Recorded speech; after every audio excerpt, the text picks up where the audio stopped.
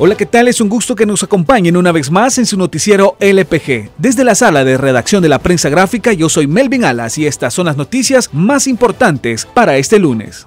El presidente de la Comisión Eléctrica de Río Lempa, Daniel Álvarez, se presentó la mañana de este lunes 21 de octubre en la sede de la Fiscalía General de la República para dar aviso sobre supuestos actos de corrupción en la construcción de la presa hidroeléctrica El Chaparral. Según detalló, estas posibles irregularidades se realizaron por la administración anterior cuando Daniel López fungía como presidente de la institución entre el año 2014 hasta el 2019, cuando terminó su presidencia. El actual titular de CEL no detalló sobre las presuntas irregularidades, manifestando que no quería adelantar criterios y que serán las investigaciones las que determinarán los parámetros de las faltas cometidas. De hecho, desde su formulación, como bien lo dije la primera vez, o sea, no hay diseños terminados eh, en su contratación y obviamente el, proyecto ya debería de haber terminado, habiendo costado 208 millones de dólares, cuesta 756 hasta el momento eh, y no está finalizado el proyecto. Entonces, es ilógico pensar que no hay eh, actos de corrupción porque eh, la fase 1 nos da una antesala de lo que se dio el Chaparral, o sea, donde están involucrados el expresidente de la República, Mauricio Funes, en donde su círculo personal pasó dinero por ahí y vino a finalizar en el spa de la actual pareja del expresidente. No quisiera hablar de plazos ni de montos, porque eso lo va a determinar eh, los resultados de la auditoría que está ahorita corriendo. Y en base a esa auditoría nosotros vamos a tomar eh, decisiones.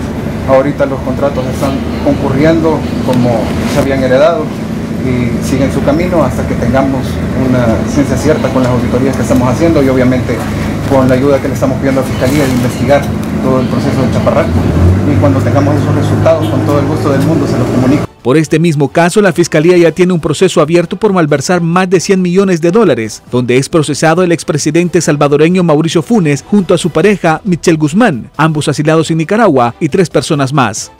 El presidente de la Asamblea Legislativa, Norman Quijano, dijo en conferencia de prensa que nunca se ha reunido con pandilleros y que tampoco lo hizo cuando se postuló para presidente de El Salvador en el año 2014. El arenero Norman Quijano juró que nunca habría ofrecido dinero a las pandillas a cambio de votos. Jamás me he reunido con pandilleros para negociar absolutamente nada, mucho menos ofrecido dinero.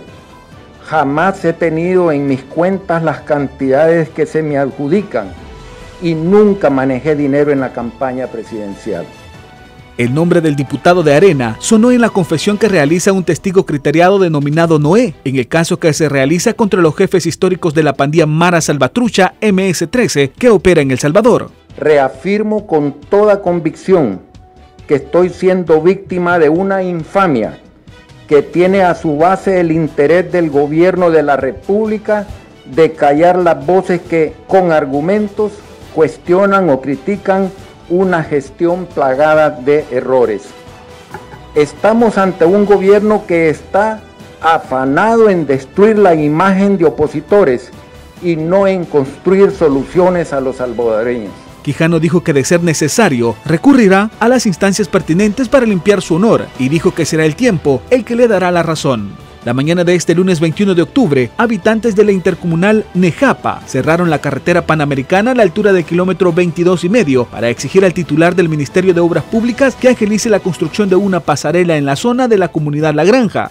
En el lugar fue necesaria la intervención de los agentes de la Unidad del Mantenimiento y el Orden Humo para habilitar el paso y que los automovilistas no fueran afectados por el cierre. El titular del MOP, Romeo Herrera, ha manifestado que el proyecto ya fue licitado, por lo que le pidieron a las personas del lugar tener paciencia mientras se termina el trámite del proyecto e inicia la construcción de la obra. El presidente de la República, Nayib Bukele, dijo estar trabajando para que el gobierno de los Estados Unidos otorgue a los salvadoreños que residen en ese país una ampliación del permiso de estatus de protección temporal TPS. En su reunión en Washington con el presidente Donald Trump, Bukele aseguró que los salvadoreños con TPS son los migrantes que todo país desea y que los migrantes que cuentan con este estatus desde el 2001 han pagado impuestos, comprado casas, carros, adquirieron créditos, crearon empresas y hasta han generado empleos. El actual TPS vence el próximo 2 de enero del 2020, por lo que el mandatario salvadoreño dijo que él y su gobierno están confiando en Dios, en que este permiso será ampliado por las autoridades estadounidenses.